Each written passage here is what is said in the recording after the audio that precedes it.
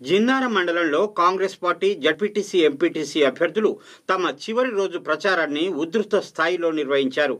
స్థానిక ఎన్నికల్లో మండలంలో ఎనిమిది ఎంపీటీసీ రెండు జడ్పీటీసీ స్థానాలు కాంగ్రెస్ కైవసం చేసుకోబోతుందని ఘంటాపదంగా చెప్పారు. సంగారెడ్డి జిల్లా జిన్నార మండలం మంత్రికుంటలో కాంగ్రెస్ పార్టీ నాయకులు ఇంటింటి ప్రచారం నిర్వహించారు. కాంగ్రెస్ పార్టీ జడ్పీటీసీ అభ్యర్థి వడ్డే కృష్ణ ఎంపీటీసీ రవీందర్ గౌడ్ తమ సహచర గణంతో కలిసి ఈ కార్యక్రమం నిర్వహించారు. ఈ సందర్భంగా వడ్డీ కృష్ణ మాట్లాడుతూ తమ ప్రచారంలో ఓటర్ల నుంచి మంచి స్పందన లభిస్తోందని హర్షం వ్యక్తం చేశారు. ఈ ఎన్నికల్లో ఎనిమిది ఎంపీటీసీ స్థానాలు రెండు జడ్పీటీసీ స్థానాలు తాము గెలుచుకోబోతున్నామని ఆశాభావం వ్యక్తం చేశారు. అనంతరం కాంగ్రెస్ పార్టీ నాయకుడు అనిల్ రెడ్డి మాట్లాడుతూ ఇంటర్ బోర్డు అవకతవకల్లో ప్రాణాలు కోల్పోయిన ఇరవై మూడు మంది విద్యార్థుల ఘోష కేసీఆర్కు తగలనుందని శాపనార్థాలు పెట్టారు.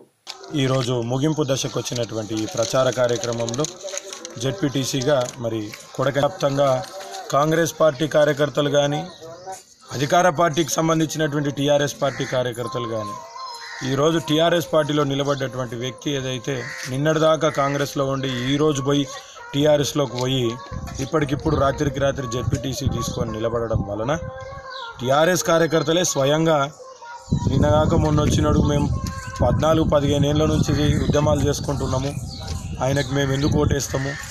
తప్పకుండా ఆయనకు బుద్ధి రావాలి మా అధిష్టానానికి బుద్ధి రావాలంటే మంత్రి పంచాయతీ మాదారం గ్రామంలో మం- మంత్రికుంట గ్రామంలో ఇంటింటి ప్ర- ప్రచారం జరిగ జరిగింది. మంచి స్పందన ఉంది. మాకు ఒక నమ్మకం వచ్చింది. రోజుకింత మంచి రెస్పాన్స్ ఉంది ప్రజల్లో. మేము జిన్నారం మండల్లో ఎనిమిది ఎనిమిది ఎంపీటీసీలు జడ్పీటీసీ ఎంపీపీకి కైవేసం కైవసం చేసుకో చేసుకుంటామని చెప్తున్నారు. ప్రజలు ఏమంటున్నారు అంటే ఇప్పటిదాకా కేసీఆర్ చెప్పిన మాటలు టీఆర్ఎస్ చేసిన పనులు ఏమీ లేవు. ఇప్పుడు కంపల్సరీ కాంగ్రెస్ కేసి గెలిపించి ప్రతిపక్షం మనిషిని నిలబెడతామని చెప్తున్నారు. ప్రజలపైన జినార మండల ప్రజలపైన నమ్మకం ఉంది. వాళ్ళకు జిన్నారం గ్రామ మండల ప్రజలకు అందరికీ ధన్యవాదాలు తెలుపుతున్నాం.